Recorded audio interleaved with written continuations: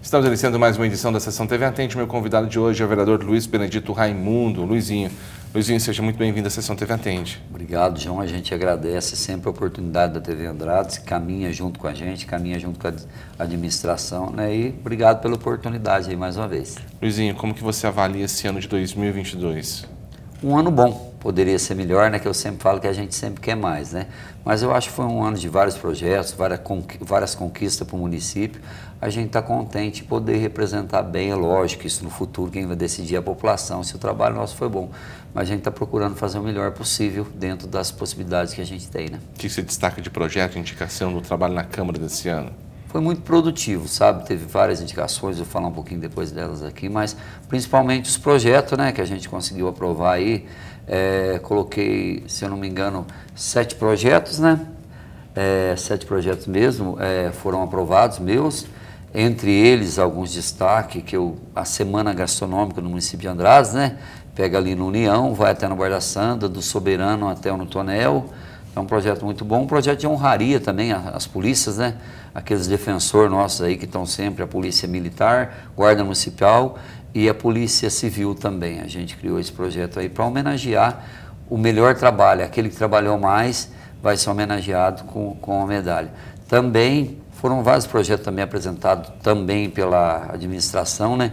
Entre eles, a gente aprovou o projeto que é a lâmpada de LED no nosso município, né? Foi muito importante para a gente aprovar esse projeto para poder se consolidar, que está terminando agora a iluminação das lâmpadas de LED, que a gente sabe é, a melhoria que trouxe e também a segurança, né? Outro projeto muito importante também que a gente aprovou foi a da compra do terreno, né, ali para a escola, fazer um centro né, educacional ali, muito importante, um projeto que eu tive o prazer de visitar em Santa Rita do Sapucaí, levou o nome da mãe do deputado Bilac Pinto, né, muito bom, muito bonito, por isso que votei favorável.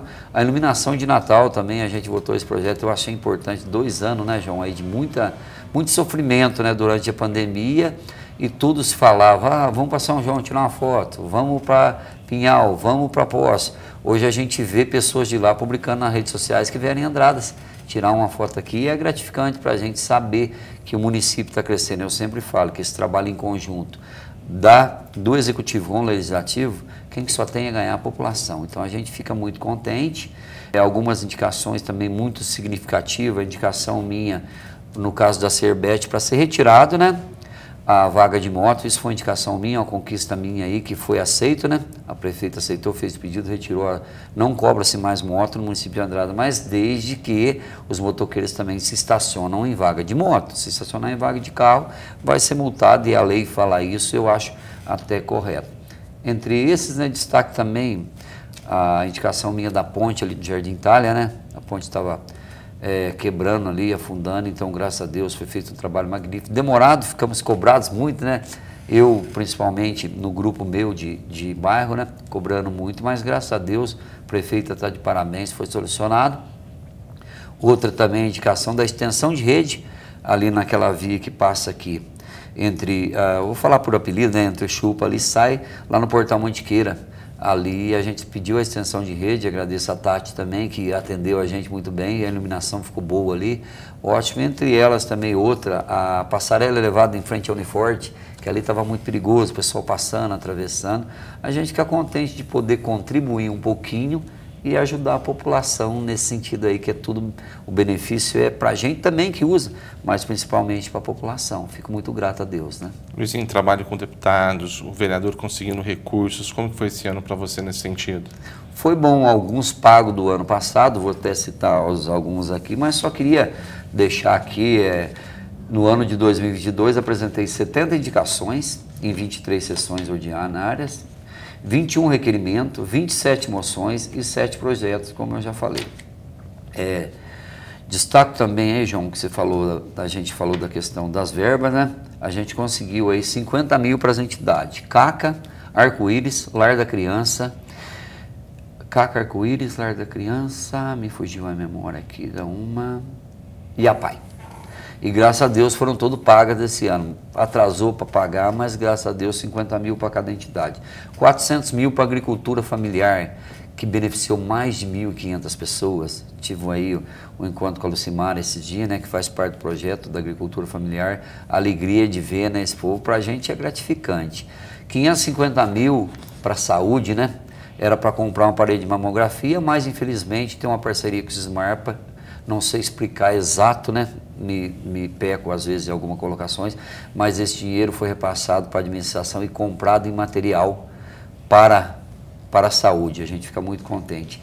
137 mil para o Caracolzinho, para a reforma de lá, né? É, 250 mil para o asfalto que vai ligar um pedaço ali em frente à igreja do bairro do Panto, na praça. 250 mil meu e do Gustavo aqui para a Vargem do Rigor. Na verdade, eram 500, eu fiquei com 250 fazendo no bairro do Panto e o Gustavo aqui com 250 na Vargem. É, aqui no Beloto também mais 220 mil, uma parceria minha, do Dr. Gustavo, do Antônio Carlos Lima Biguá e do Paulo Moreira.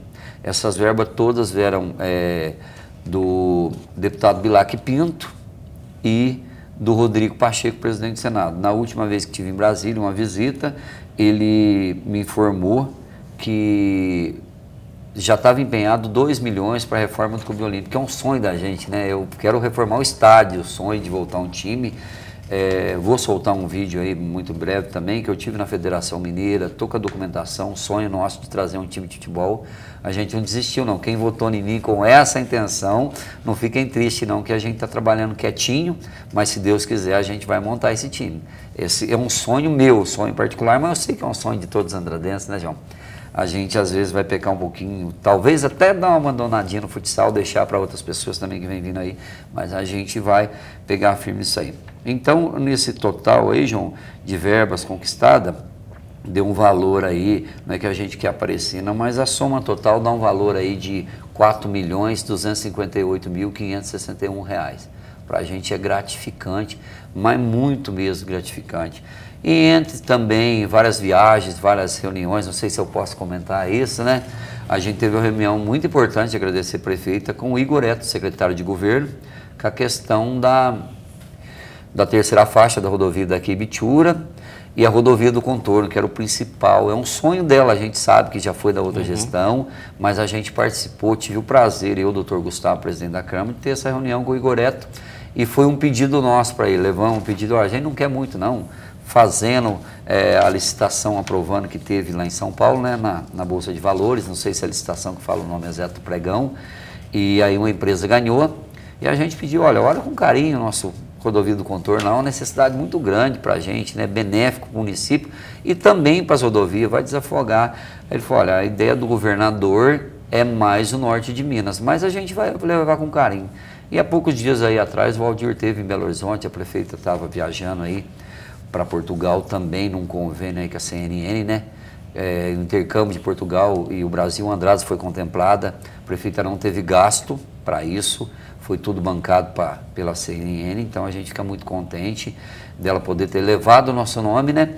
E aí vem a informação que a rodovia do contorno, se Deus abençoar, começa em maio. Só o projeto ficando pronto. É muito gratificante, João, para mim que vim da roça, uma origem humilde, poder participar dessas conquistas. Eu falei quando eu fui candidato que eu não queria prometer nada, mas eu não queria ser mais um. Então acho que Deus está me me beneficiando. Não só eu, eu falo quando é assim que o mérito não é meu, o mérito é de todos, o mérito é seu, é do pessoal da TV, é da população inteira. A gente trabalha aí, eu acho que o IBGE vai bater 50 mil, então a gente trabalha para 50 mil pessoas que confiaram no meu trabalho. 489 pessoas votaram em mim, tudo bem, perdão, 439, 489 na outra, mas eu trabalho em benefício de todos. A, a, o foco meu é a população vamos juntar todo mundo, os nove vereadores, eu falo para eles, gente, quer ser oposição, seja oposição na fala, mas no bem da população temos que ter a mesma ideia, um, conjunto, uma harmonia, isso é muito importante para a gente. Para 2023, como vai ser o trabalho, Luizinho? Projeto já correndo atrás de mais recursos, como que você espera 2023? Recurso a gente já buscou, né? Já, já aproveitei, né? Estive em Brasília, levei uma moção de aplauso a todos eleitos em Minas Gerais, né? Tive o prazer de conhecer alguns deputados que não conheci, mas já botamos a pastinha e levamos um pedido para cada um, né? Esse pedido de verba, a gente espera ser atendido, tenho certeza que dois que já me respondeu, uma probabilidade grande da gente conseguir esse trabalho que eu falei em conjunto, a gente busca a verba, a prefeita executa, é uma maravilha, fica bom para todo mundo e fica melhor ainda para a população. E os projetos é que eu tinha começado a falar, e aí me perdi um pouquinho, no projeto de olho no futuro, preventivo. Os projetos que eu vou trabalhar agora em 2023 são projetos de política pública. Isso é uma meta da ONU, a gente está num crescente, né? o Valdir passou para a gente um, um parágrafo lá, a gente está num crescente. Então a gente quer buscar esse projeto de política pública para a gente conseguir mais todos os projetos que sejam bons. Esse de olho no futuro é magnífico. Quando eu vi a primeira vez que me apresentaram, eu me apaixonei. Você previne a criança de 3 a 10 anos com um exame, uma vez ano só, né? Fez aquela, depois só as crianças que vêm. Ele tem um custo aí de 280 mil reais. A gente vai buscar a verba para isso, para não enxugar a folha, né? Do município, né? Para não atrapalhar a LDO que a gente, a LOA que a gente vai votar, né? Para ficar uma coisa bem, bem mais fácil de fazer. Esse projeto pega a criança, é, faz um estudo, praticamente, né, um exame de vista e de, de ouvido, né? Se tem algum problema, não vai ter o sofrimento, né?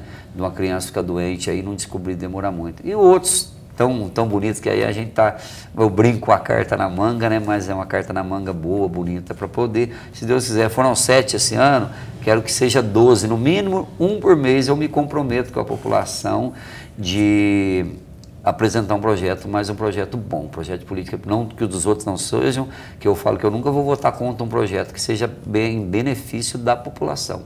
Não votamos nenhum, espero que a gente continue nessa linha, João. Tá, Jairzinho, queria muito agradecer a sua participação.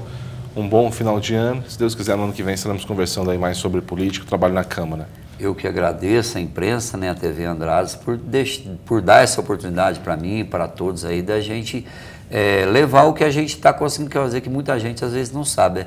E deixo aqui o meu muito obrigado a todos, a toda a população e estou de portas abertas, estou sempre à disposição. Não vamos conseguir agradar todo mundo, né, infelizmente, né? Mas quero contribuir um pouquinho, deixar um pouquinho da minha história marcada nesses quatro anos aí. Obrigado, ficou com Deus, Deus abençoe. Conversamos hoje na sessão TV Atente com o vereador Luiz Benedito Raimundo.